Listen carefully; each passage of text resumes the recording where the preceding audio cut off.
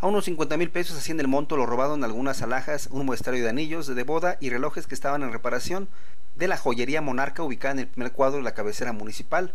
Hurto registrado entre la noche del lunes y madrugada del martes reveló el mismo propietario del establecimiento ubicado en la avenida Independencia frente al preescolar. Aprovechando la oscuridad por la carencia de alumbrado público, los delincuentes con equipo de soldadura autógena lograron abrir parte de la puerta principal para acceder y lo mismo hicieron en los barrotes de herrería que colocaron por propia seguridad. Fue así como lograron llevarse los objetos antes señalados, pues la demás mercancía se encontraba bien resguardada en el sitio. El dueño del negocio dijo que fue imposible interponer una anuncia penal por la falta de facturas de los artículos, ya que son de sus clientes y ahora tiene que reembolsarlos. Cabe señalar que un 3 de mayo de hace cuatro años la joyería Monarca también fue asaltada a plena luz del día.